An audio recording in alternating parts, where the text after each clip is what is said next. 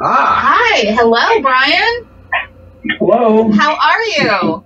I can't believe this works. What, Zoom? Yeah, he's he's tripping out over modern technology, Brian. Yeah, me too. I, hey, I'm an old radio guy. right? right. I'm an old radio guy, and I've done nothing but broadcast on radio since 1976, and, and this Zoom Oh. thing is all new to me. So, All right. Well, Well, it's, it's got picture. That's the only difference. uh, right. Uh, let's get started with the interview. So let me do the official introduction. Uh, ladies and gentlemen, we are very excited to welcome our featured guest for this evening. He is a producer, a director, and a writer, and somebody who we consider to be cult film royalty. We are very excited to welcome the one and only Brian Yuzna to the show. You're on the air with Terry and Tiffany. Welcome, Brian. Hi, Terry and Tiffany. hey, you're looking good.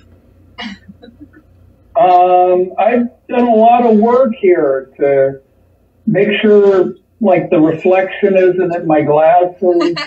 See, the thing is, we talk to movie people like you. We don't know if you really look like that or it's all, uh, you know, special effects. well, I'm, I'm behind the scenes, Yeah. you know? Mhm. It's not the same. I'm not, I'm not in front of the camera guy. Right. I I'm want. behind the camera guy. There you go. I want you to know uh, that we posted a Marquee.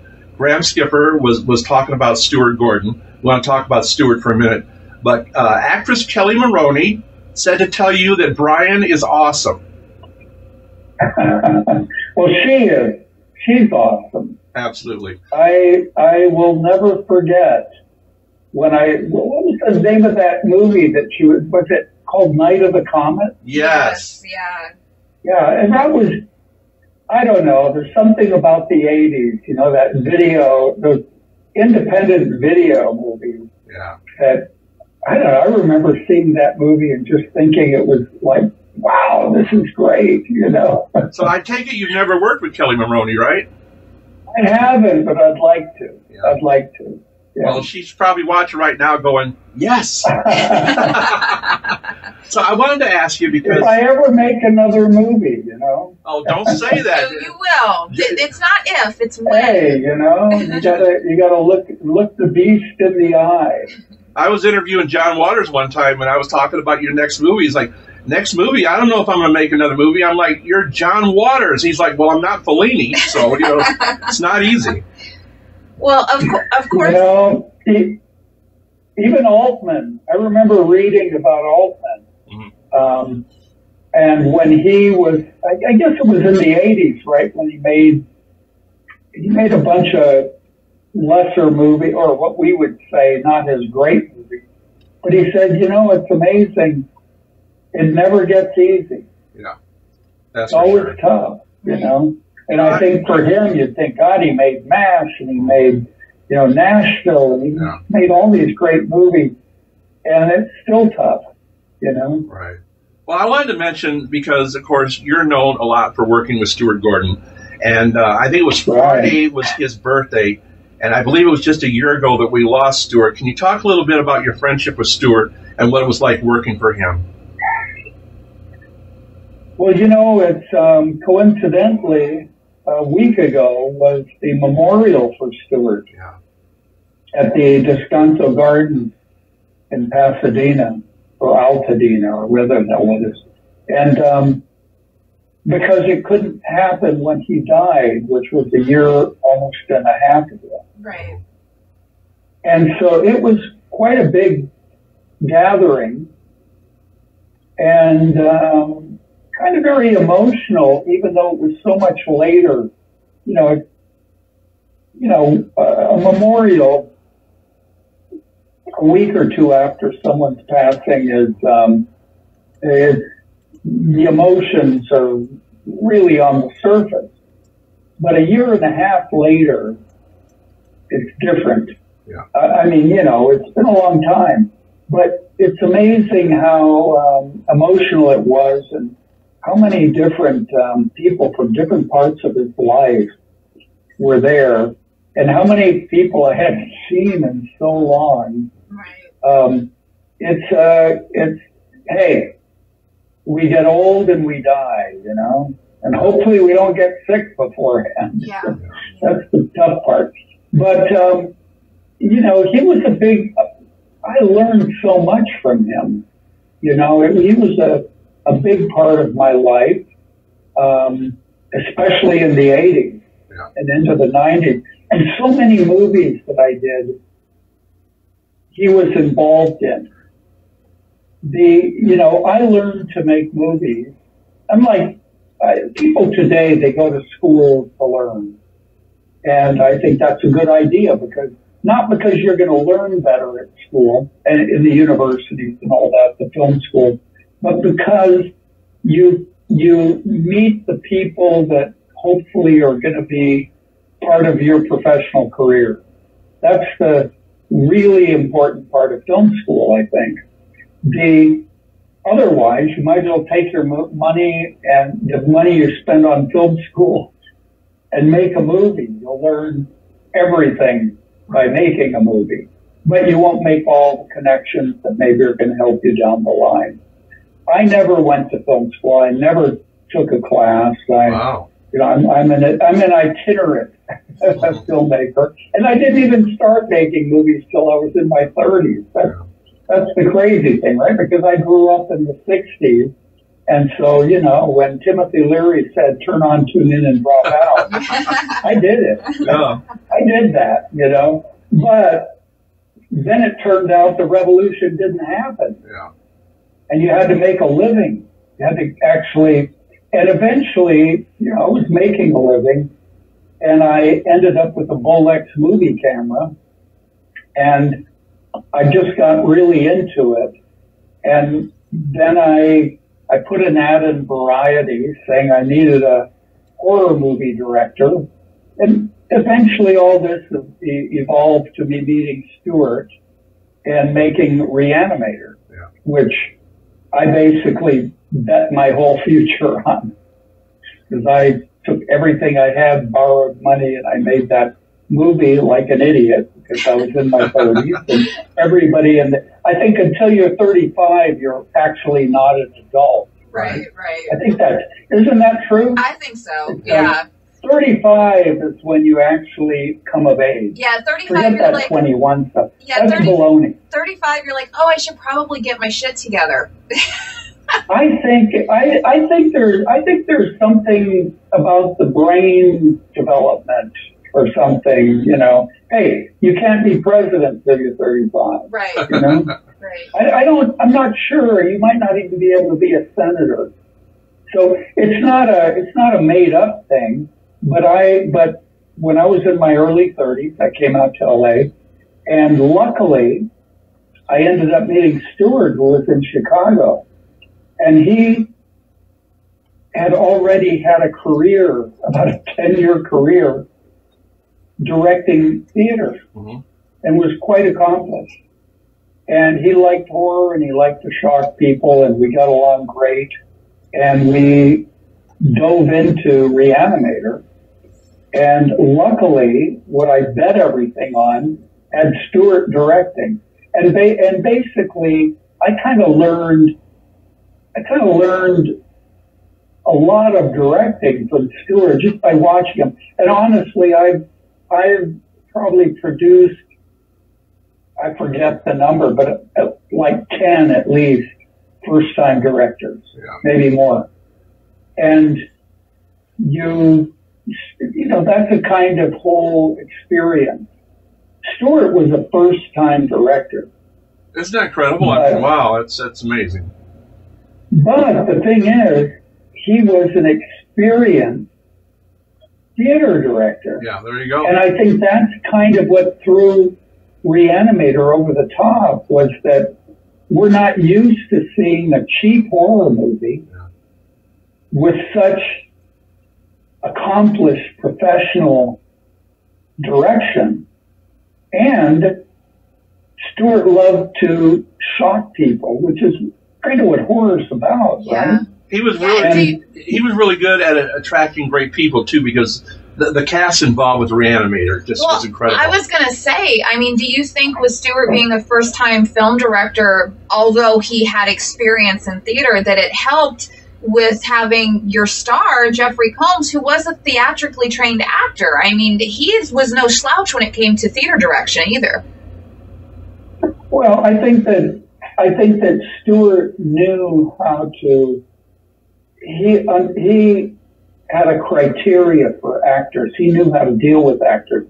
He'd been doing it for ten years by that time. He was the artistic director of the organic, organic theater in Chicago. And I went to Chicago and saw his plays and then met, then we made the deal to do a movie. Yeah.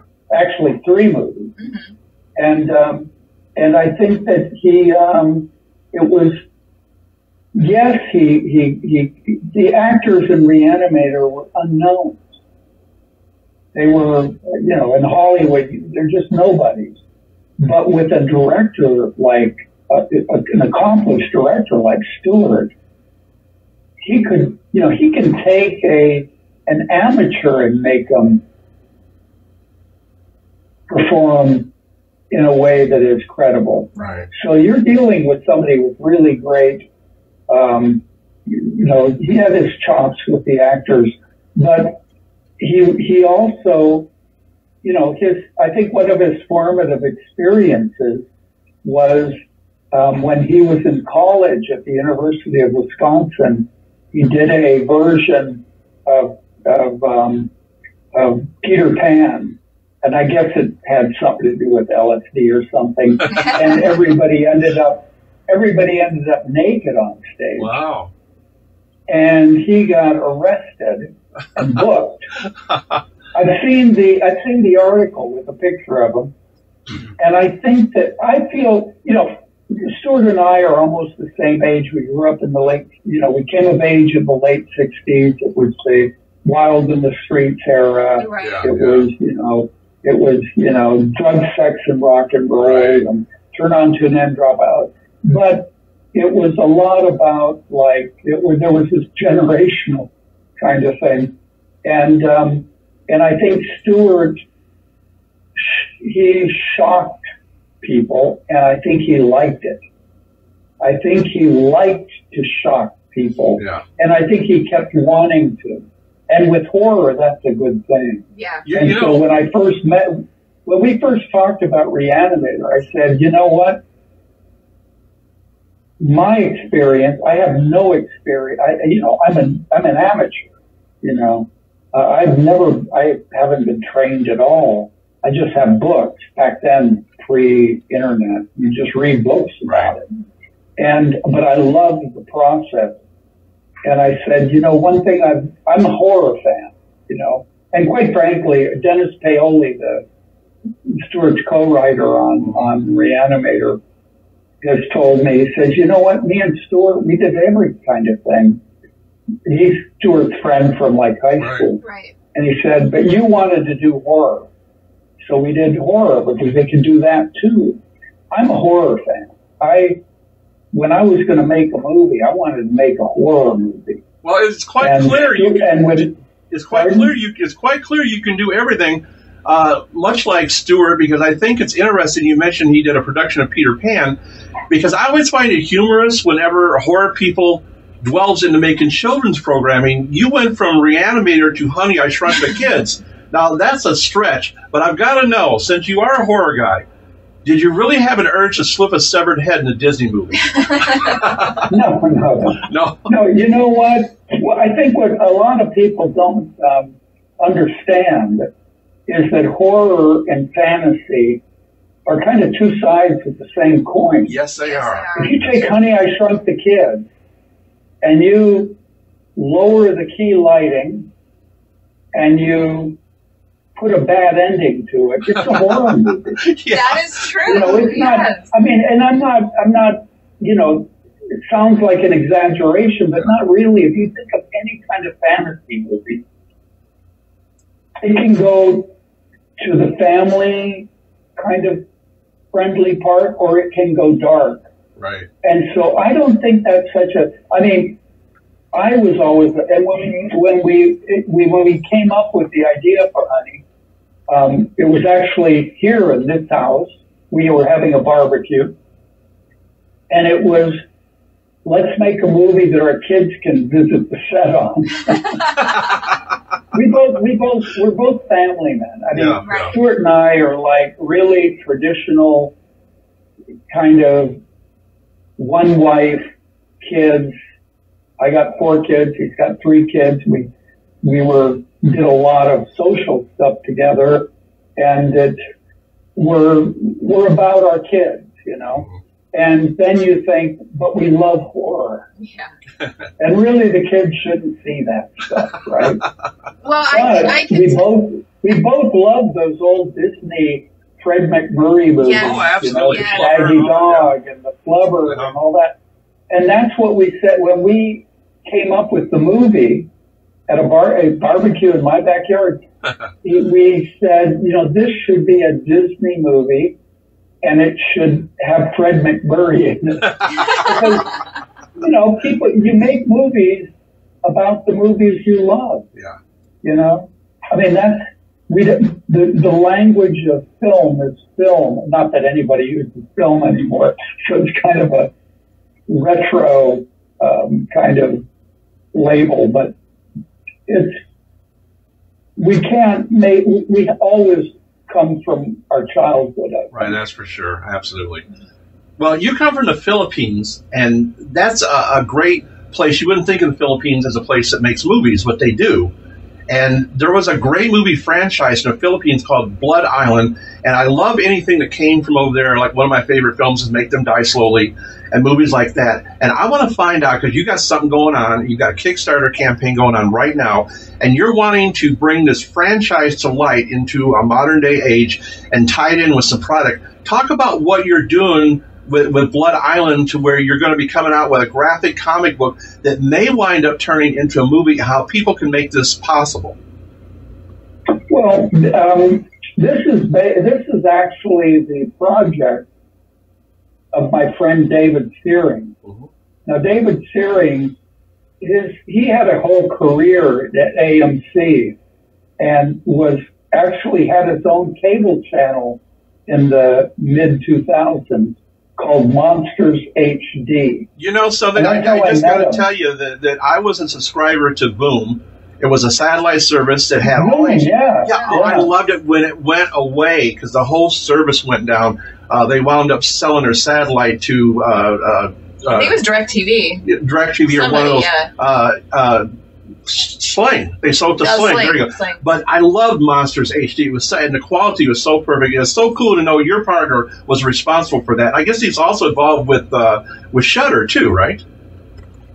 Well, I mean, AMC owns Shudder. Yeah. And so I'm not sure. You would have to talk to him Mhm. because I do think that he was involved in setting up Shudder. Yeah. But he's he's a guy who worked in the corporate world. I met him because he licensed a couple movies from me and and put them in HD um, for Monsters HD. He's just a geek. He's just a, he's a super fan of of genre stuff, Right. you know. And now he's I think his company's name is Drive In Sanity. You Mm. know? And he actually he actually puts movies up in at Drive-In. Uh, he's in Pennsylvania, Oh, back on the East Coast. Very good. So I mean, he's like he's like the real deal. You know what I mean? Yeah. And he knows all these old movies. He he's been dealing with a guy named Sam Sherman, who owns all these, has a whole big library of these B movies. Yeah. And part of his library is the Blood Island movies. There's four of them. Right. And David loves these movies, and he got the he got the rights to them for sequels, remakes, all this kind of stuff. I, he's also handling. There's like a 70 movie Yeah. special edition Wow. that that's being put out. wow. But so he wanted to to do a, I I guess a reboot or a kind of reimagination of it, and I I'm on board, of course. And these movies take place, of course, they were shot in the Philippines. Mhm. Now I worked and lived in Indonesia for three years trying to make movies there. And one of the things that really kind of attracted me was that the the kind of mythologies and the monsters in their mythologies in, in Indonesia, and I would add, add Malaysia, um, Philippines, that whole Southeast Asian area, they all have these kind that there's a similar mythology. Yeah. And we're so used to the horror movies based on European and mainly Eastern European mythologies that interpreted through through Western European, you know, the Draculas, the vampires and werewolves and you know, eating the dead and these kind of um, we, it's been done to death, of course, you know. And um, but in Indonesia, they have all kinds of crazy cre- creatures. And so the thing about the Blood Island was it introdu- it kind of opens the door to that. Right. And so David has kind of he, he co-wrote the script, and it's kind of either two movies or a mini series. Every 15 minutes, there's another really crazy creature. I mean, really great stuff. And because that was not only because I, hey, he's my friend, I'll support his project in any way, but more than that, this was the kind of stuff I wanted to do in Indonesia before the Great Recession happened. I did only two movies there, but there were so many stories to do in Indonesia. And I always had this idea that you could, you could take these, these kind of legends or myths or whatever you call horror, ghost story type stuff and kind of bring them out to the, to the world audience in the same way that the Japanese have been quite successful with J horror Yeah. and a lot of the Japanese ghost movies Yeah, the ring. that we, we, yeah, the ring, yeah, the ring, who, all those, actually J horror was created by a partner of mine in, I don't know if you know a movie I did called Necronomicon. Yes. Yes. Yes. And that movie, that movie was, there was a Japanese co-producer on it called, uh, named Taka Ichise. Mhm. And he's the guy who created The Ring, The Grudge, Dark Waters, all of those things, right? Mhm. But he, but these are, it's a kind of a Japanese sensibility. But then you also have more older Japanese ghost movies and, you know, you watch these things, you go, wow, they have different rules from us, just like, just like the Thai movies. You will watch Thai horror, Thailand horror movies, and you go, wow, they, vampires are different. You know? They are. They have that's a for sure. different, you know, there's a different kind of story structure. Mhm. And Koreans, wow, the, some of the Korean stuff is great. We're talking about Southeast Asian, which is kind of like more of the, the South, South Pacific.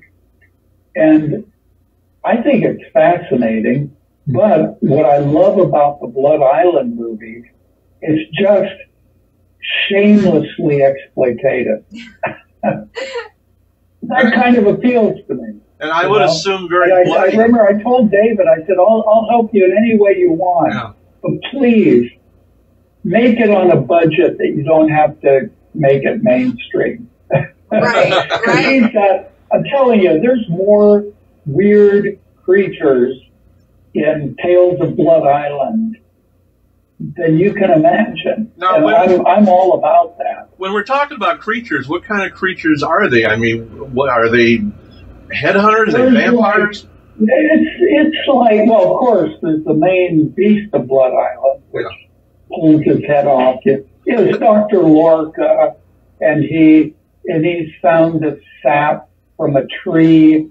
It just happens to be Reanimator Green. Oh, okay. Well, of Predating course, yeah. Reanimator by, predating Reanimator by about 20 years, Right. right?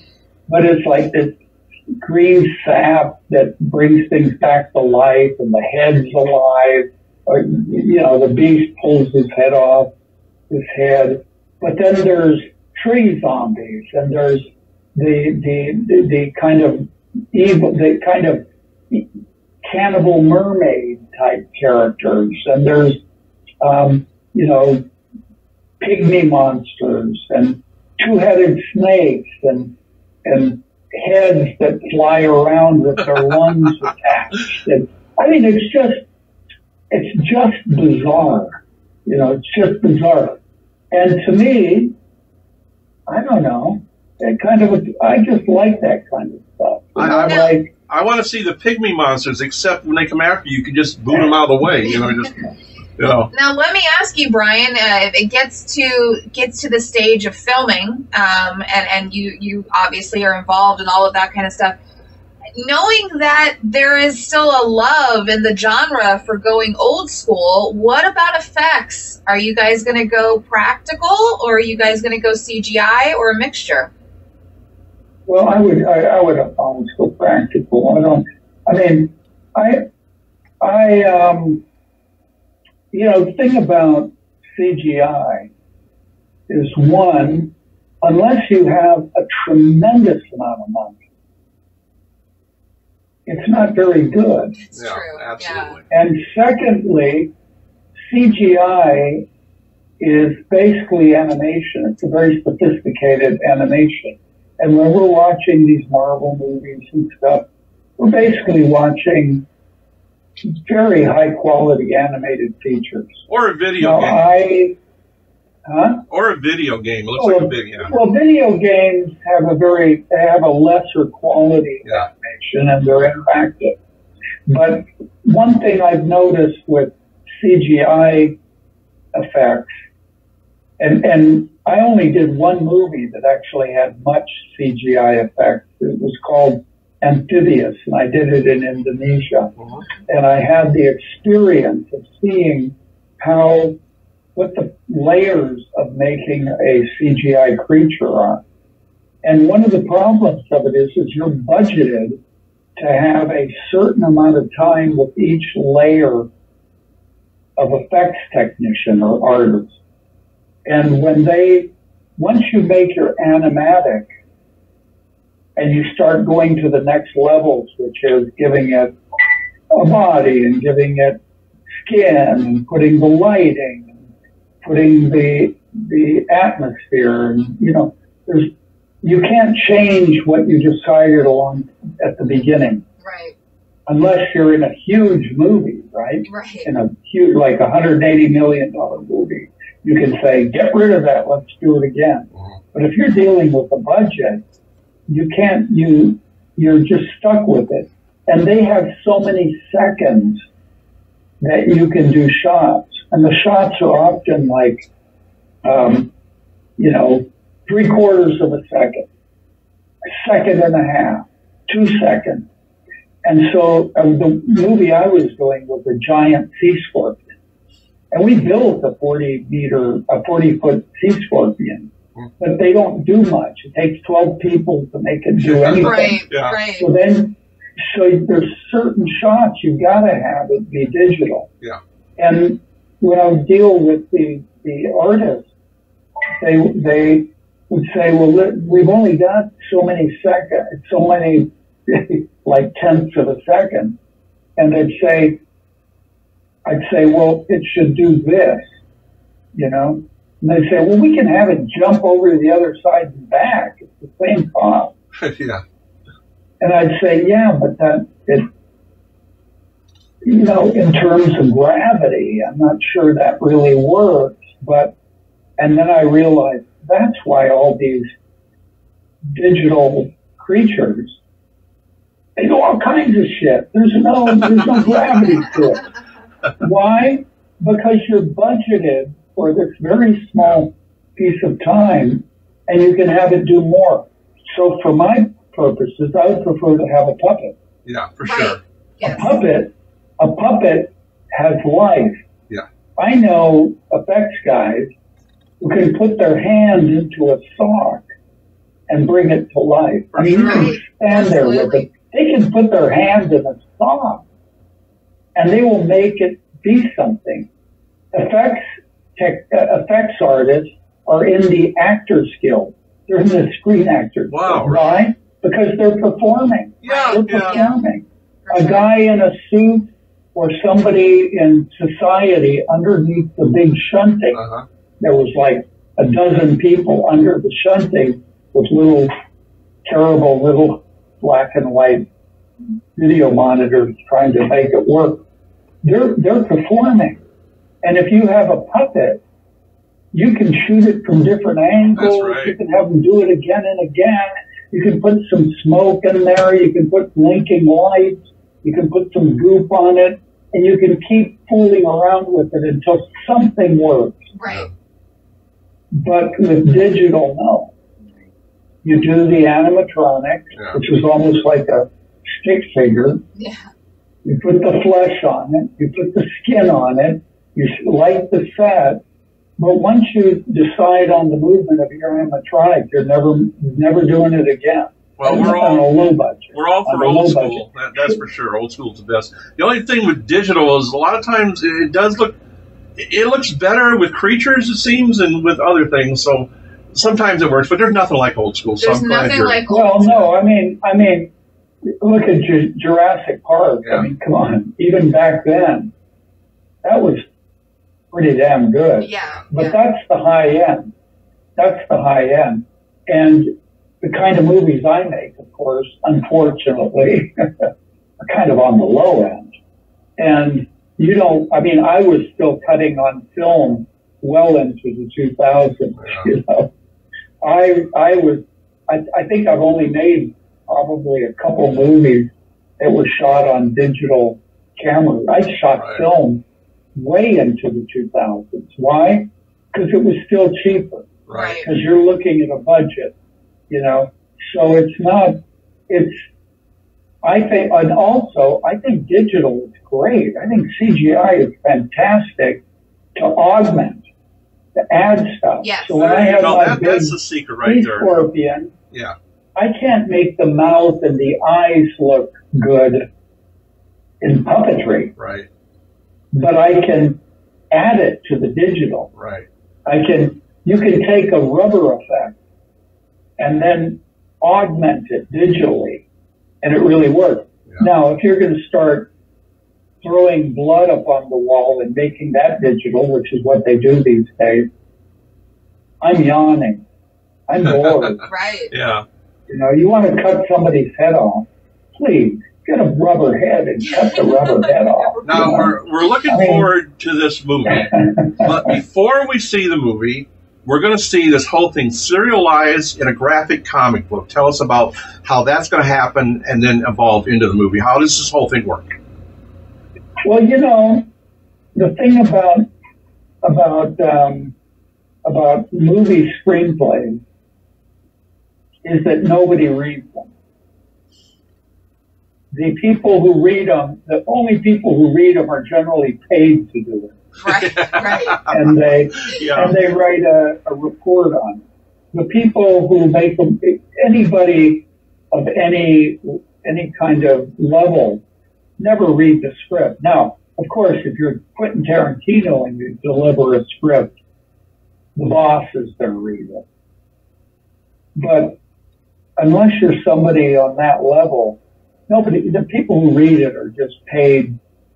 They're readers Right. and they do a report.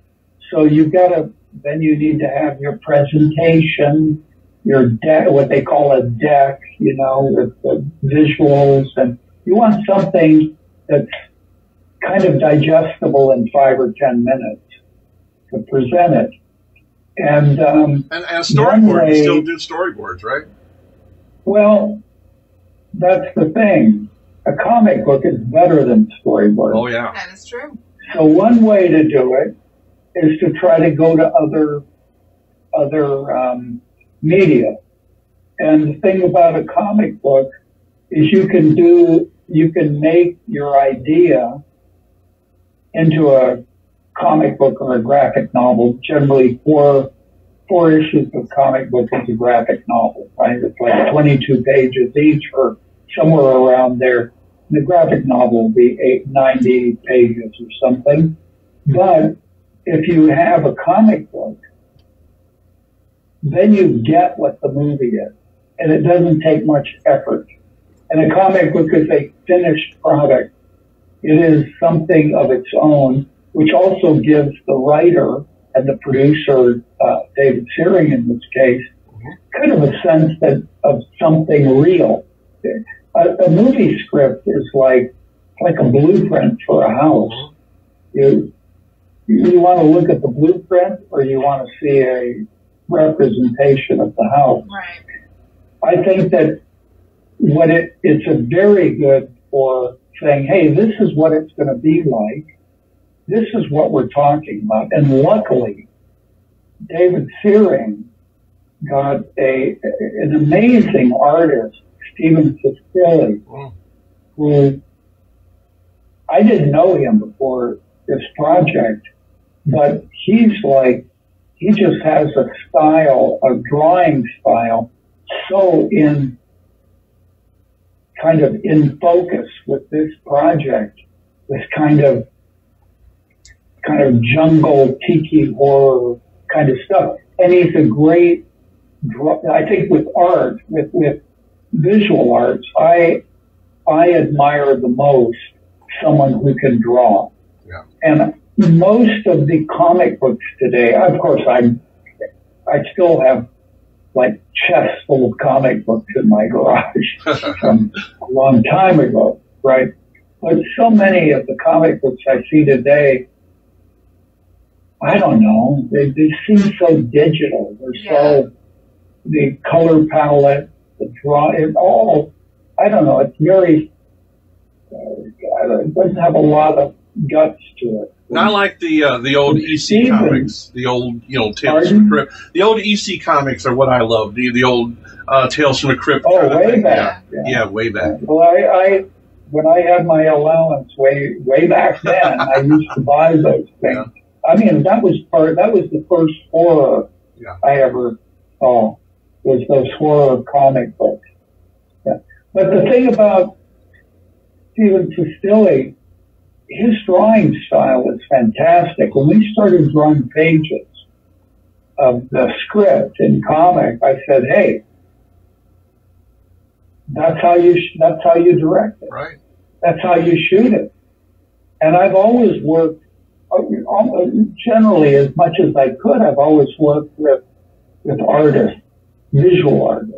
So for example, with Society, Screaming Mad George was a major collaborator in kind of developing the shunting on, um, you know, when I went to Spain, I met Richard Raaphorst, who directed Frankenstein's Army Yeah. and he he did storyboards for me, but they were more than storyboards. He he kind of um, you know I I tend to go for I tend to be attracted to to inspiration to people who who have a vision, and then I back engineer it into a movie because I'm kind of a you know my basic I'm kind of a producer type, right? Yeah. Yeah. And so I want to make it into a project. You know, I've got a project, but I've got to get that, get something fantastic out of it. And you kind of want to draw it out of people, you know, and, and get ideas. And if you love the idea, then you try to figure out a way to figure it into the movie. Yeah. You know, but I think Stephen Cistulli, he took the script that, that, that David Sehring, um, co-wrote. And man, from the beginning, there's the stuff he was drawing. I was going, wow, well, we don't, it's not a storyboard. It's a comic, hmm but you can see how to tell that story. And hopefully, well, I think the comic is going to be a, it's going to be great on its own. And all these swag and the merchandising that they're doing. And I mean, this Kickstarter stuff, man, it's like a full-time job. I mean, So you're you're used not to free. working. It ain't free money. Let me tell No, you that. You're used to working from a script, and and uh, of course there's storyboards when you make a movie. So you literally will have the comic book too, to go on. How much is that comic book going to influence you when you actually make the movie? Because it's a different Well, process. we, we haven't seen the whole comic. We've only seen a bit of it. I've only worked with Stephen, Stephen Sicily a little. But I'm telling you, I mean, we're back and forth, so it's not like, I mean, he drew it after we talked. I mean, with David Sehring and, and all that. So it's not like, it's not, you know, but his, but his, his attitude towards it, his approach, is kind of so in tune with the tiki horror blood island because this is a this is a period piece right. takes place in the 60s right so we're not we're this is like indiana jones or something you know how it it's retro Right. it's not today Yeah. right and it's not in any it's like a tiki bar is in no real there's never been a tiki bar except in the us right Yeah. it's it's a it's a it's a, it's like Disneyland. It's Yeah. a fantasy type of idea of a bamboo bar my my ties and stuff. You Well, know, and it's my but under- it it's, Go ahead. I was going to say it's my understanding though that this wouldn't be the first time that you're kind of creating something from illustrations. Uh, weren't you the first person to adapt a, a manga into a into a, a, Oh, a yeah. full film? That was the Guyver, right? believe it or not. Wow. Hey, who could guess? Very Right? similar. No, the Guyver. I think the Guyver was the actual first anime and manga adapted, like reinterpreted as a live action Hollywood movie. but at that time, I was dealing, I was working with the Japanese a lot. Um, I, the Society and Bride of Reanimator were both financed by Japanese money. Oh, And I and, and and I also then I ended up working with Taka Ichise, who is the creator of J horror, but he wasn't involved with Guyver or any of those. But so I was quite, and then I did Crying Freeman, which probably was the second. Now it's never been released in the U.S. because of some screwy kind of um, conflict between the the one of the the financiers and the U.S. distributor, but it was quite big in Europe. And Yeah. Crying Freeman is a fantastic movie. It was the, really the first, I think it was the first um, feature film by Christoph Gans, who did the first episode of Necronomicon, and now he's a, a huge um, French director. Right. But yes, I, I um, Guyver was based on the anime and the um, and the manga, and I'm very visually oriented, right. and I absolutely, um, you know, I am so interested in visual artists. So when I make movies, I'm always looking for, you know, I'm not the, I wouldn't say I am, you know, today there's this idea, you know, it's kind of like when Bob Dylan came along in the 60s, Mhm. he was like the first singer songwriter. Before that, people played a song and sang it, the boat crowd and all that. Frank Sinatra, nobody ever thought he should write his songs. Elvis Presley, nobody ever thought. Bob Dylan came along and became a mega Yeah. artist. Yes, yeah. And he was a singer songwriter. Now everybody has to be a singer songwriter.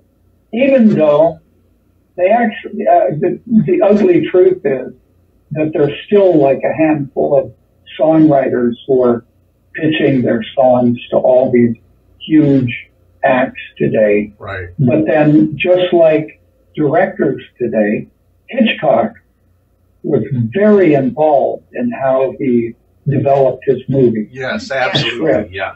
And I know that personally because I worked with Joe Stefano, Oh, Who wrote- really? um, Psycho. Yeah. I worked with him on a movie that he had written that we were going to produce that never got made. Oh, such a fan he is. He told me, kind of took me through the his experience with Hitchcock, and I also um, came in contact with Jay Presson Allen, who wrote, I think, Torn Curtain.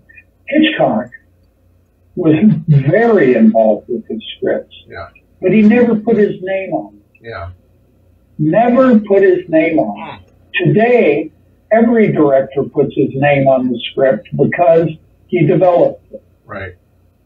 And that's today every director is an artist. It could be his first movie. It could be his first short Yeah. student film, and he's an artist. Already.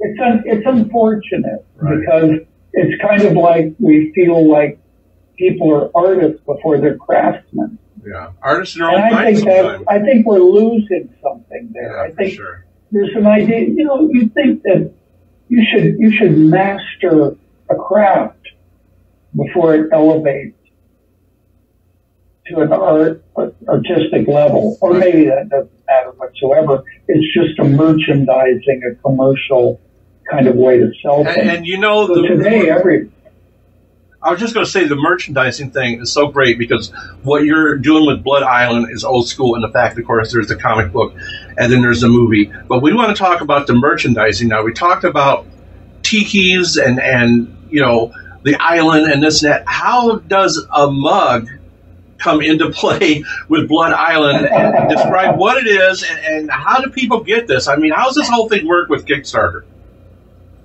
Well, you know, the thing is, is you probably should really be talking to David Sehring Okay. because he he is a he's a tiki guy. yeah. You know, he just he just has an appreciation. It was a subculture I never knew about until I mean I knew about the mythologies and Right. stuff of Southeast Asia because I lived there. Yeah. But what I didn't understand, but he made when he got the rights to the to the Blood Island movies, the four movies, I think. There's uh, Terror is a Man, which is less of it, but then it's like The Beast of Blood Island and Rise of Blood Island. but they are, but he's really into that. So if he ever came, when he, he's in, he's in Pennsylvania, when he'd come out here, we'd always go to a tiki bar. Ah, there No. you go. They were, it was Trader Vic's Yeah. that, that kind of was the big one in the Right. 50s and 60s. I think it, it's such a fake Disneyland version of Southeast Asia. I think it happened because there was a bunch of GIs in World War II that were that came back from the, the ones who were in the Pacific theater, not the not the European theater, Mhm.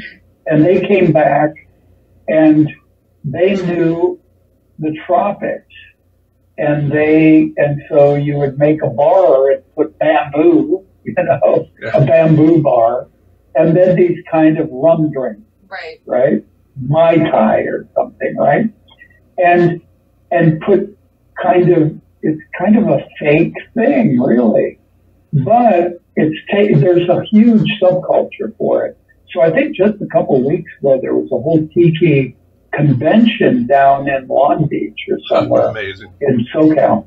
And, and there's, I never knew this, but there is a huge market in, um, in these tiki mugs. And where we, I, I, if you've seen the Kickstarter video hmm that I'm the pitch man for, which I really dug. I really, first time I was the pitch man, right? but I really dug it because you don't have to worry about getting the equipment there, getting the lights, making sure everything's set up. You just go in and pitch. Right. That's that's the back porch of a house in the valley here in LA. Uh, where are you guys located, by the way? We're we're in Los Angeles. We're actually up in the Angeles, Okay. the Angeles National Forest. Yeah, Oh, I like that. yeah, it's Yeah. nice. You're, where, where up there? we live in Lake Hughes, uh, so you go up the if you're Lake Hughes. yeah. So uh, if you're in Santa Clarita, you go up the canyon into the forest for about 25 minutes. That's where we're at. It looks like Camp Crystal Lake up here, like from uh, Friday the Thirteenth. So there, there's actually a lake well, there was. There- It, it dried up. Well, there was, but Oh. unfortunately, because we're in California, there's also huge fires like Yeah. every year. So they ended Right, up using the right, lakes to put out the fire, and now the lake is kind of dry. Yeah. But there was lakes. Well, I, I used to drive up the Angeles Crest Highway up Yeah. to Mount Wilson with my kids all the time Yeah. on Sunday. I love that area. I love it up there. But anyway, Well, we'll have to we'll have to show your Kickstarter video. We'll have to show your Kickstarter video and show your later on and, and see what you're talking about with this this porch thing. But that was fun doing that video, huh? Well, that's somebody's house. That is, when you look at that, it looks like a bar, right? yeah. It's somebody's house in like Encino or something. Van Nuys. I couldn't believe it. I walked out there and they turned their their porch and their backyard into a tiki bar. yeah. And the whole house, every wall is full of tiki mugs. So and, and there's all these like famous ones and ones from certain famous tiki bars. You wouldn't believe it. There's actually there's actually a reanimator tiki mug. Which Really? is the Dr. Hill had. Oh God, I want that so bad. So what what is your But tiki mug? David, Go ahead. pardon? I was just going to say, what Well, is your, David Sehring made a tiki mug Uh-huh. for the Beast of Blood that had a head that comes off. There right? you go. That You, you drink the, the. Now I'm not sure how these tiki mugs. They're like, in, I mean, these are ceramic mugs that are that are fire. Yeah. Inside, they're very. It's not like it's like a glass cylinder. So I'm not sure anybody ever drinks out of them. If you did, you'd have to do it out of, out of a straw. any true They collector that has them. any true collector that has something They like that does not them. want to drink out of it. Right. They, Keep it pristine. they pristine. collect them, and I really want to do a butthead society tiki mug. well, I just wanted to let people know uh, who are listening if you're interested in uh, participating and supporting the Kickstarter campaign. Uh, the campaign is actually called Brian Yuzna's Blood Island Jungle Horror Comics and Tiki Mugs. It's a mouthful. So just if you go over to Kickstarter and search Blood Island or Brian Yuzna, it should come right up. And there's a whole list of uh, of uh, rewards and perks that you can get for uh, contributing to the Kickstarter campaign, uh, including a copy of the comic book that's coming out, uh, the Tiki mug itself, all of those kinds of things. So check it out. Uh, the the Kickstarter's going for another 29 days, and you guys are doing pretty good, Brian. I mean, you've already kind of have reached close to what you wanted to, or maybe a little over. So there it's you doing go. pretty good. There you go. See, in I this, think I think every everything is. I think it's good value for money. I'm telling you, this Kickstarter, I've never done it before. Mhm. Now I know that Stuart Gordon and Jeffrey Combs did it a few years ago for the. Um, they were trying to make a a, a Edgar Allan Poe movie, right. Right. and they were. I think they were trying to get like the full budget, right? Yeah. And I thought they did a good job. And with Stuart, uh, the thing about Kickstarter, if you don't meet your ma- meet your goal, you get nothing, Right. right? So Right. you got to make sure you're careful about that. But Stuart was not very, you know, he felt like. I, I remember when I talked, I said, "Well, what did you think about it?" He said, "Well, it's kind of like standing on the corner with your hat in your hand." and it didn't seem very attractive to me. right. Yeah. And when I see what David and his team are doing, in a way, it's really, I mean, it's a full-time job. I don't feel like, I, I feel like it's value for money. And quite frankly, I think that um, the value of it for the amount of money you're raising, really the value of it is actually, it's kind of like getting people who might be interested connected. So there's a, it's really more about promotion than Right. it is about, about, it's not money for free. I'll, I'll guarantee you that Absolutely. Right. the work that's involved, and thank God I'm not having to do the fulfillment.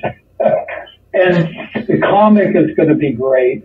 I mean, I, I buy, you know, I, I support my friend uh, Pete Von Sholly with his, his books Yeah. on Kickstarter, and I'm just, I've worked with him. you know, the story, you know, I've worked with them, I've known him for years, and he's a real artist, and he gets to actually kind of keep going with his art without having to compromise through Kickstarter. And when you see it that way, you go, you know, this isn't, it's not like somebody's getting a lot of people to like kind of finance it. it, basically, it's kind of like pre-sales. When I was a kid, I lived in the tropics and I would order stuff from the backs of comic books and stuff, you know, and it would take forever to get there. And every one, even if you're in the U.S., they say, you know, you have to allow six weeks for shipping. Yeah. Because basically you were ordering and they would get all the orders and then they would produce as many as the orders came in. So you were pre-buying. And then in a way, that's what Kickstarter is, in a way. But I think it's really about getting a, getting, I don't know, I don't want to say community, that's kind of an IT kind of Mhm. kind of la-di-da type of thing. But it's like getting your market, getting the people who might be interested, and they get to know about it. And in a way, I think the great thing about this Blood Island kind of Kickstarter um, comic is that you you're kind of already kind of getting some interest for what we hope will end up being a movie. Right. But if it doesn't, you're going to get a damn cool tiki mug. I, Yes. I got one. Let, let me ask you I the like, magic. of course, of course, I like the green one with the blood. Of course. Touches. And, and, and You know, knowing that knowing like. that you like the green one because of your reanimator roots, let me ask you the magic question that I'm sure a lot of people's wanting to know, especially with your history with them. Is there a chance if it goes to a movie, if it might have Jeffrey Combs and Barbara Crampton in it? well, well, maybe we should, maybe we should include them. You right? should. Yes, Hey, you this- should. This movie, I'm telling you, if we get to make it, the thing that excites me about it is it's just, you know, it's not one of these message first horror movies. Uh-huh. I, I must say that in the last 20 years, I've been, it's been harder and harder to get too excited about horror Yeah. because it's become a medium for people who really aren't that interested in the genre. Right. You know, they're just, they're, for better or for worse, they, what they want is an entree into the movie. And the horror movies start being, it's kind of like message first. It's like it's a social commentary. It's, and you kind of go, God, can we just not have a thrill park ride, you know, a theme park ride, or, you know, can we just not have a fun horror movie? Yeah. Right. Of course, this began, I think, with uh, with the beginning of the modern era of horror, which was Night of the Living Dead, Yes. um, and George Romero. Night of the Living Dead was such a huge effect on on horror. Um, not, I mean, to a great degree because it he screwed up the copyright. That's, that's the he lost out on that one. Yeah. that, that big, that's a big, big thing. A big, big thing. It wouldn't be near as, as well known now You're if right. the copyright had been Absolutely. protected. Yeah. But it was, of course, he was shooting in Pittsburgh, and he was using the people he knew, And so we have this black kind, he wasn't the protagonist, but he's one of the main characters. And he was totally wrong for the whole movie, of course, because he, you know, remember the white racists wanted to go in the basement to hide out. Yeah. And the black guy didn't want to. And eventually they all get killed. The black guy goes hides out in the basement survives until the racist sheriff or the jingoistic sheriff kind of floods them. Yeah, right. And you know, back then you didn't see black characters on that level. But it, I, but I've talked to the people involved with that movie, and and George Romero, who was very involved, right? He directed it, and that wasn't what they were thinking. Right. And then when they did did um, Day, um, Dawn of the Dead, Oh, all of a sudden it was in a mall, and they had the people shopping, which was funny, and it was a horror movie. But all of a sudden, it seemed like it was making some kind of a commentary Right. on on on society.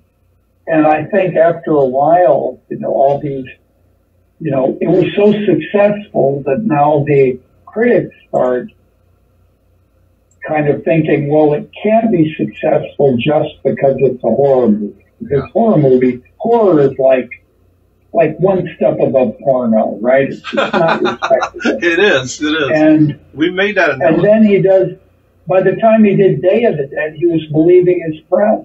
Yeah. Yeah. And everything was like self-consciously, except for the, except for the effects, you know.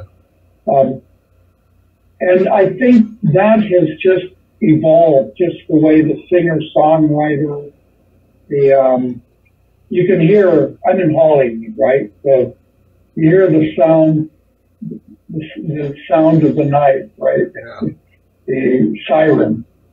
Um, but anyway, I think then we get to the point where we're doing all these horror movies that are all about, it's all about what political or, There's always some or kind of an agenda. commentary. Yeah, there's some kind of an agenda behind it. There's there's nothing wrong with just going and we've talked about that before. There's nothing wrong with just going back to the old days where there's a monster and the monster does bad things, not because he has an agenda, because he's a monster, and that's it. Exactly. I'll, I'll and you know, you. the thing is, if you do anything, uh, and let's say in a creative way, right? You write a story, write a song, make a short film, whatever, whatever you do, if you just do it, it's going to reflect the times that you're in. yes. Yeah, It will will. reflect them, just like Night of the Living Dead. It just just reflected that era. But it's different when the message is forward. It's like it's about you know if you do something like Get Out, it's all about the message. Right. Yeah. It's about the cultural message. Yeah. And Get Out's a good movie, I think.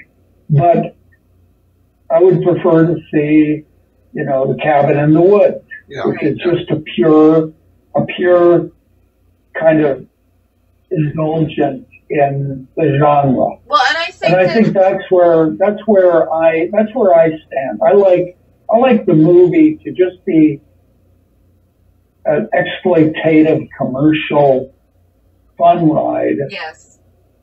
And of course it's going to reflect the era we're in. We don't have to make a Trump monster. You know what I mean? We don't have That's to already been make the done. bad guys. We don't have to make the bad guys be people we don't agree with Right. politically. We You don't know, have you're, to do, you're we don't have- definitely you're definitely who old wants to school. do that? Right. Political stuff is better in sci-fi movies. Yes. Sci-fi movies almost generally deal with that. But horror generally is about love, sex, Yes. death, um, psychology, you know, demonology. Right. So it's it's it's better if it's not dealing with kind of our cultural commentary. I think. Yes. Well, even, could even though it, could even be, though though. Night of the Living Dead turned out political, like you said, they didn't think of it that way. You remind me an awfully lot of George Romero because I knew George pretty well, and and you're that same type of person, you know. And and You mean old? well, aren't we? Aren't we all? Certain era. You know, I don't know if like you guys saw no this. but. I get it. considering your considering your partner's connections, you know, uh, AMC Rainbow, who owns Shudder, they've got some really big pockets, and it would really be worth their while to invest in this movie because then they might wind up being able to show it on Shudder. Have you ever approached them for financing? Oh yeah, of course, of course. You know, I go, I make all the rounds. Okay. The thing is, uh, the thing is, is that as you get older, um, you're not really taken very seriously. I mean, uh, Ah, for sure. you, you will you will find you will find you will find that out, right? Yeah. It's not a big, it's not a secret, but until you get there, you don't realize how little you count Yeah. as you get older. And I don't know what it's like in 10 years, right? Yeah. But, but no, I've been around. You know, the thing is, is I left the U.S., I left L.A. for about 15 years and worked in Europe and in Asia. And, um, when I, and then I came back after the big kind of Great Recession. And when I came back, of course, everything changed. Because I grew up, I began during the video revolution Right. right. which was a great time for independence, the 80s. And then it kind of got monopolized, and you ended up with Blockbuster, who was the Netflix of their era. Right. It sure was. And then the broadband got big enough to put movies on it. I mean, the music business got hit first in Right. the 90s. because They don't have, it's music, you don't need that much bandwidth. And in the 2000s, all of a sudden they, it started being possible to put movies online. Now, the movies, we could, I mean, they're, they're cable series, you know, um, and they're, some of them are, I mean, cable series are, fan, some of them are fantastic, I guess, but the movies are different. And I think that we're, you know, everything's evolving. When I came back to LA, all of a sudden I realized that, um, I was the old guy. I was always the oldest guy in the room. And people say, oh, no, no, you've got experience and all that. I said, believe me, when I made Reanimator, I didn't look for the old guy to work with. The guy who reminded me of my dad. I didn't want my dad in the room. I wanted the people like me. So just because I feel like I shouldn't be treated that way, I'm going, I'm going in to pitch to people who are younger than my kids, Yeah. you know. You, really should see there. There's a movie. totally different, Right. right? So as you get older, the best thing you can do is own stuff. You really should see there's a, and, a and if you're in the movie business, you should own IP. right. Right. Because if you don't own anything, you're just holding in the way. And people don't want someone that reminds them of their parents. You really should see a movie. And I, I get it. I get it. You know? You really should see a movie that's on Shudder right now, of all places to mention.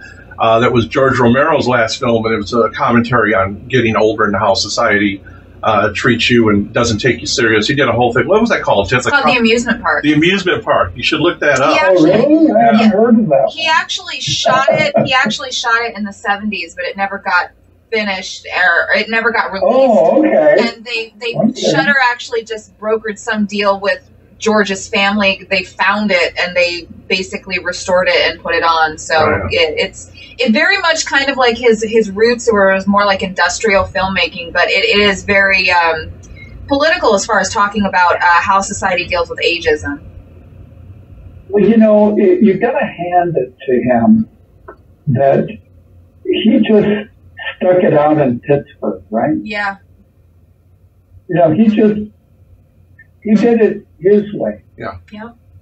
You know, unfortunately, he ended up having to just end his career making more and more permutations of Night of the Living Dead, Yeah. which I'm sure was a big disappointment. But hey, at least he had something to do on that. Well, I did. I was lucky enough to to go to um, a screening. I think it was the first ten or fifteen minutes of.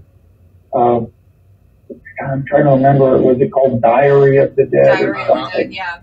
and and it was a midnight show at the Cannes Film Festival. And on the red carpet at the Palais, and I and there was a party at a yacht in Cannes. They had these parties at yachts and stuff, and I got to talk to him there and go up the red carpet with that crew and see those 15 minutes. And it was really great because, well, it wasn't like he was in competition. Yeah. You know, it wasn't, it wasn't like he, but it was a kind of an acceptance, Mhm. an international and kind of cinema acceptance of, I think, what he was doing. And I did, I did get to have time talking to him at the Sitges Film Festival in Spain and about about his movies. And I really feel like, you know, there's this this something that people that people like to say about how Night of the Living Dead was kind of based on I Am Legend, Mhm. The Richard Matheson Right. story, which I've read. I think it's great, all that. And even George Romero, um, kind of almost up front would go, yes, yes, I, you know, I based it on that. And I think it's a, I think it's wrong. I think, yeah, there's, there's something, you know, yeah, we all have our inspirations, but I kind of get the feeling that he was beaten up a little bit about that. He was. And I don't think it's, I don't think it's justified. Not at all. No. I, most people haven't even read the damn story. Yeah. Yeah. Well, You know if what there I mean? I mean, you ask people, have you read it? Did you really read it? You know, yes, there's something to it, but it's, it's Night of the Living Dead. It's a zombie. You know, of course, vampires and zombies are basically the same. They're two sides of the same coin, of course. And I think um, Anne Rice showed us that with Interview with the Vampire when she had the vampire go to Eastern Europe looking for his antecedents. And he found them in the graveyard, these ghouls kind of eating dead flesh. right. And he was disgusted. They're zombies. And then he went to Paris to the theater where the zombies, they were the gay zombies and they were, and they had taste and they only drank the blood. So zombies and vampires, I think, are really part of the same thing. So the idea that I Am Legend is about zombies and, you know, Night of the Living Dead is, I mean, I am, I am Legend is vampires. You know, I, I Yeah. never um, really thought of Reanimator as being a zombie film, but in your press release, it mentioned it as a zombie film. Is it a zombie film? Did it? I don't know. I think it's kind of a mad doctor thing. Yeah, Right, yeah, there's yeah. more so. But you know, when you bring somebody back to life, when you bring somebody back to life, that's a zombie. Yeah, In a way. Technically. Yeah. A reanimated, a reanimated subject, a living dead, Yeah. a, you know, I think that's, but it is kind of a Frankenstein thing because there's a scientist. Yeah. And that's Frankenstein. And of course, with Bride of Franken, uh, Bride of Reanimator, we went full on Yeah. with the Mary Shelley kind of routine. So let, Let me- let, me, let me a- let me ask ask you you- the magic. Let me ask you the magic question. Stuart, unfortunately, is gone. Uh, Charlie Band and his people are still around. If, if Charlie Band approached you to do another Reanimator film now that Stuart is gone, would you be involved? Charlie's very tricky to deal with. Uh, that I know. Yes, Yeah. we've you heard gotta that. Be, you got to be very careful. You got to be careful. I did see him just last week, actually. I went to the um, memorial to Stuart Uh, after a year and a half of, um, you know, because of COVID. Right. And it was really kind of a moving event. It was at the, the Descanso Gardens in Pasadena. And Charlie was there also with, I think his son was with him and his girlfriend and, and Rick Band, Right. Who I've been in touch with for many, I've worked with him. And, um, and you know, I had a big lawsuit against Charlie. I deposed him and all this kind of stuff because it was, you know, it was like I had everything I owned on the line, Right. but I still, you know, part of me would just love to work with Charlie because I just, when I came to LA, I just, when I went to one of his sets, I, I knew his father before I knew him. right. Right. Albert. And he was producing Sword Kill, this movie, this movie about a samurai swordsman that had gotten frozen in Alaska or Siberia or something and ends up in LA, you know. And, um, I just loved what Charlie was doing. I loved it. It was, and I got involved, you know, and it was, to me, it was like when I was in junior high school or middle school, I think they call it now. Um, and I saw those Roger Corman, Edgar Allan Poe movies like Pit and Pendulum, Premature Burial, and Tales of Terror. And that was, to me, was like, wow. Or the, um, you know, the, in the 50s, the, the, um, you know, the House on Haunted Hill, Yeah. the Tingler, 13 Ghosts. They, I mean, these are the movies that are Harryhausen. Those are the movies I wanted to make. Yeah. And Charlie was doing it. He was, he was doing it and he was my age, you know, and it was, I just thought it was great. The problem was is that his business practices sometimes Right. Makes it difficult to work with him. Right. He, it, you know, that's the problem. If Charlie uh, kind of was a little strayer with his business, I think he would own a he would own a studio by now. Oh, today are there any studios?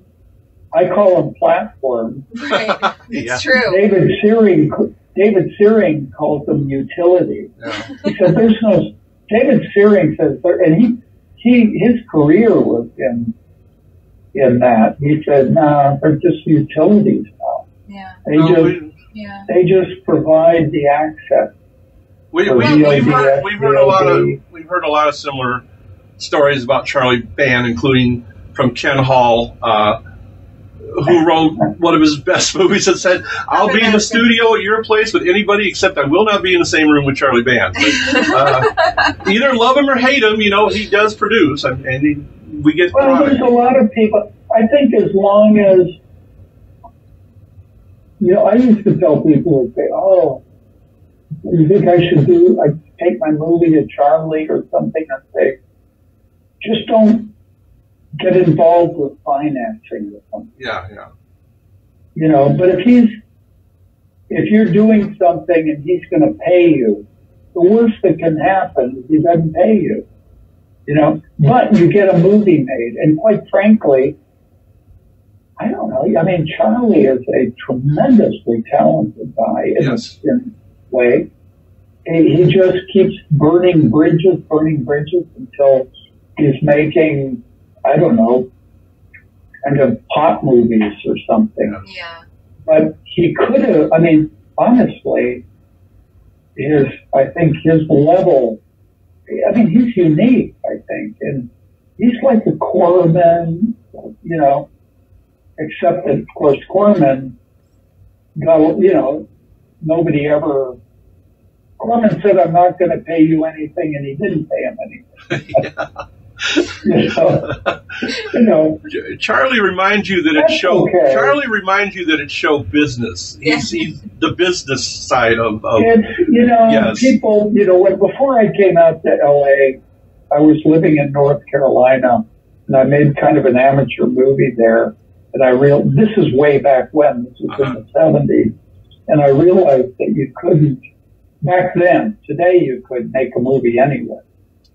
Um, and I work with people who are making no budget movies all over the U.S. because I, with my partner John Penny, who uh, we have a company that we do producers rep. We help people make these no budget movies and try to find a way to get it distributed and to make some money on it, get their money back, right? Um, but back when I was back in the 70s, it was none of that. It was, you couldn't, you know, nobody knew how to make movies. Nobody would show up. That's the problem with amateur movies, is nobody shows up when they're supposed to. But I think that, um, that when I saw what Charlie was doing, it was like, wow, this is the real deal. You know, he's the real deal. Okay, whatever his, you know, whatever his weakness is, of course, that kind of killed him. Yeah. But I think he could have. I mean, I loved working with him. I just thought he was. I just. I mean, he's just so.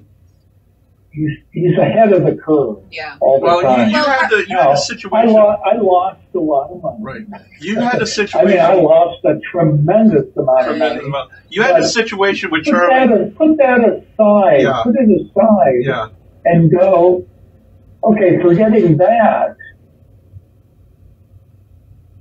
that's not Corman because everybody that worked with Corman is still happy with Corman. Yeah. You Right. know, Corman paid people. You always thought he did, but everybody told me they got paid. So I If he guess. said he was going to said, I'm not, pay you, he said, I'm not going to pay you much, yeah, and he didn't. Yeah. But he did pay. but he did pay. So that's that. Yeah. So I don't. You know, the thing is, is that I think you got to separate the business of Charlie Band from the talent and the vision of Charlie Band, and I think the talent and vision is.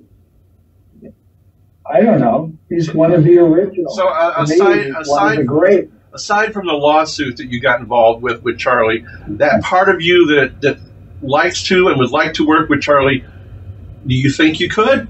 You you know you kind of hinted you might, but Um, I like it. okay. Well, I'm that's a good sure answer. It could be possible. What kind of relationship did Charlie? I mean, the thing about the, pardon? What kind of relationship did Charlie have with Stuart? What does Stuart think of Charlie Band? I think, well, Stuart, I'm not sure. Um, Stuart, I mean, when I was working with Stuart at one point, when I was suing Charlie or Empire, um, I had to stop working there because I had an office over there Yeah. and, um, and we were working on Robot Jox. Mhm. And at one point, I just had to go, well, you know, I, I can't really keep doing this. But I had a deal to make, to make Dagon in Wales, Mhm. in England. And Stuart bailed on it, which of course torpedoed the deal. Yeah. And, um, and he took me to made a bunch of movies with him. Of course, at the same time, Stuart and I worked on um, Honey, I Shrunk the Kids, and I mean, Stuart and I kept working together um, throughout. And but Stuart got to make a he was able to make a bunch of movies with Charlie, Right. and I think with Stuart, oh he he never put any money up. See, that's the difference. Yeah, that's a big. And I think Charlie always paid him. I think he did. I don't know.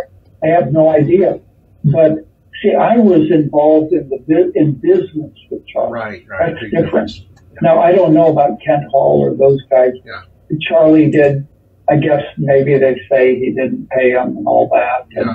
certainly I had that experience. And But I think with Stuart, I think he always did.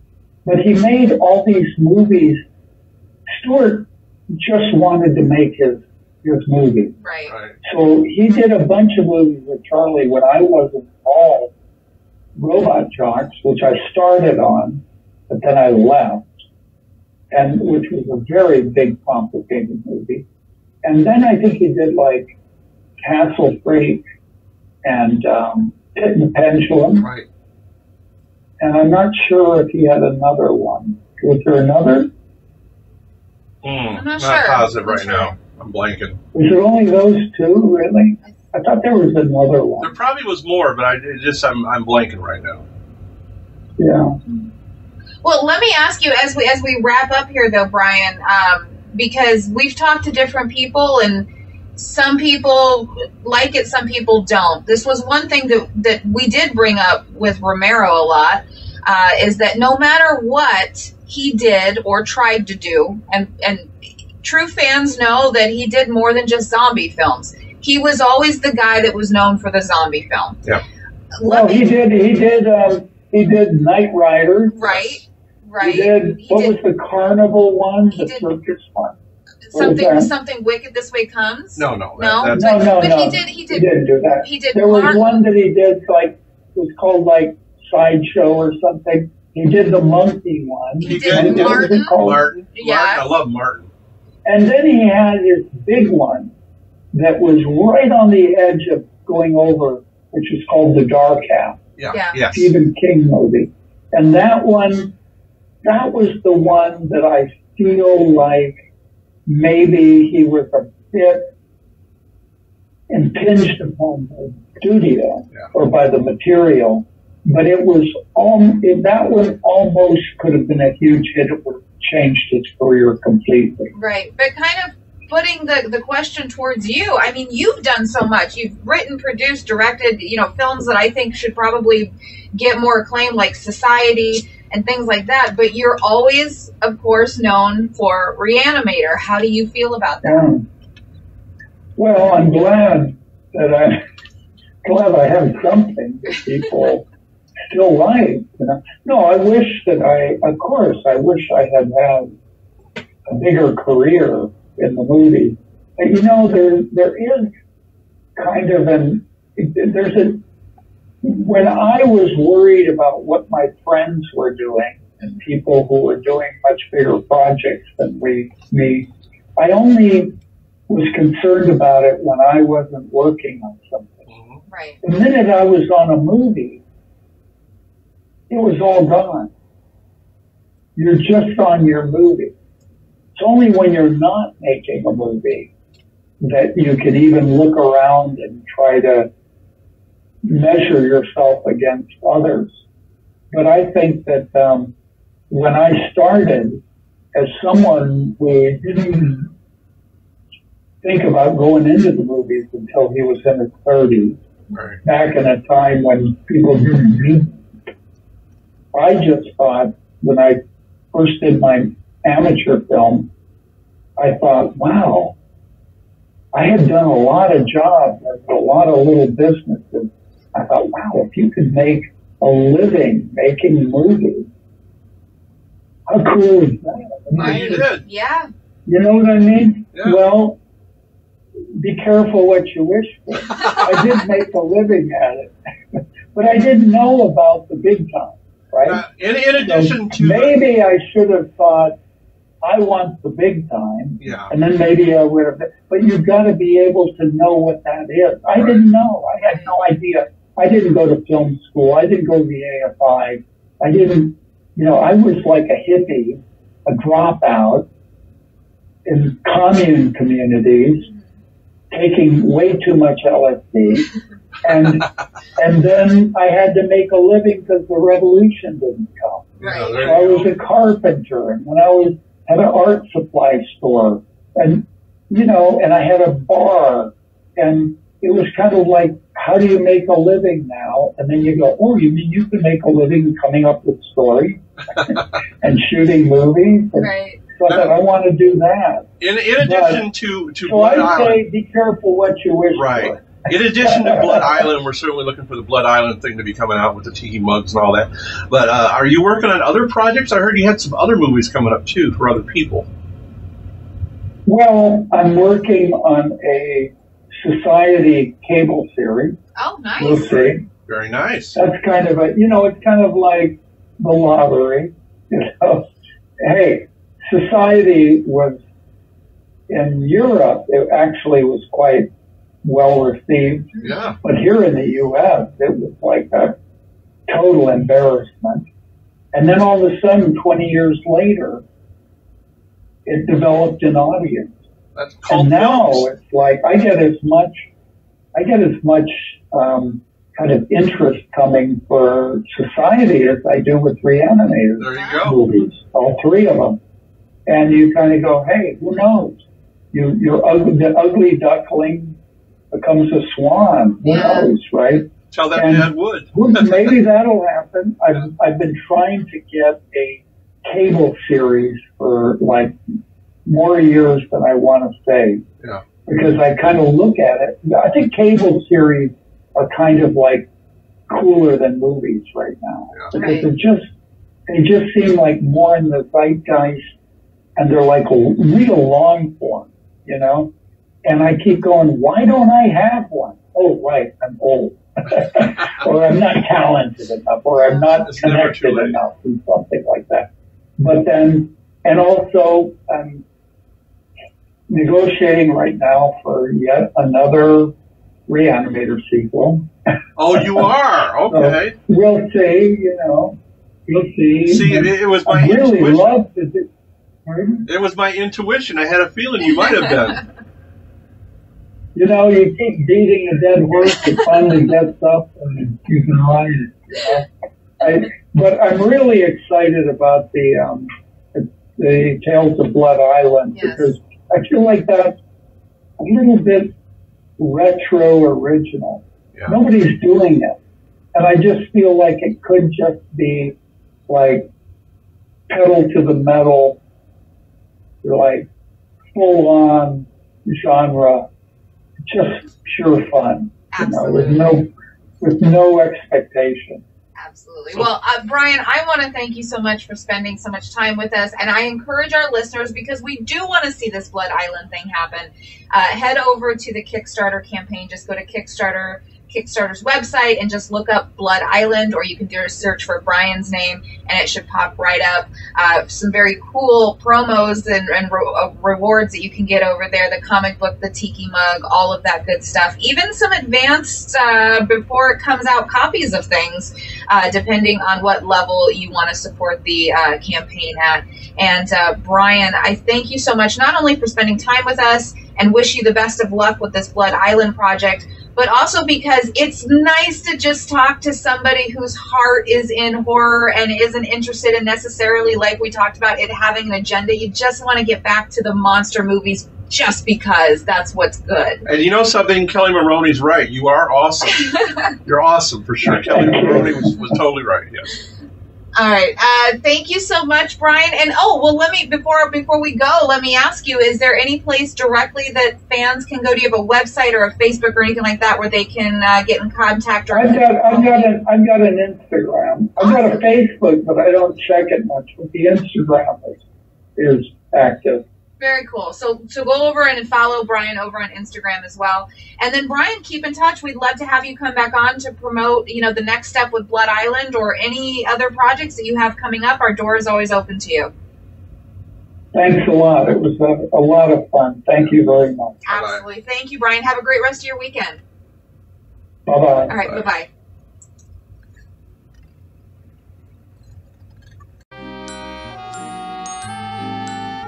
Hi, I'm Brian Yuzna, producer of Reanimator, director of Society, and maker of just a lot of weird horror movies. I want to tell you about my latest weird tale. It's actually a comic book. It's called Tales of Blood Island, based on the classic features shot in the Philippines in the 1960s, and it's tiki horror all the way weird monsters, cliffhanger endings drawn by the amazing Stephen Sestili. Tales of Blood Island comic is a prelude to a movie series as wild, maybe crazier, with more monsters than you can shake a stick at from the South Pacific. But before we do the movies, we need your help to fund the comic. Support this. We have lots of cool swag to get. The comic books, of course. Blood Island shirt. Tiki bar stuff. Tiki mug. If you're a fan of tiki horror, tiki bars, tiki drinks, tiki mugs, or just an old fashioned horror fan, this zombie's for you.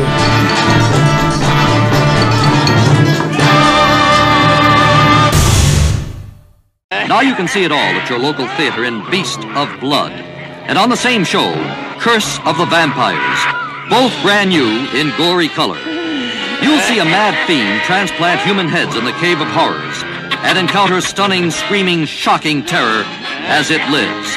A monster's head detached from its body, causing savage and inhuman destruction.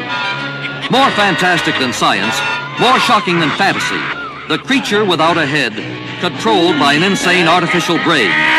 Beast of Blood. See the Bloodorama Shock Festival, if you dare.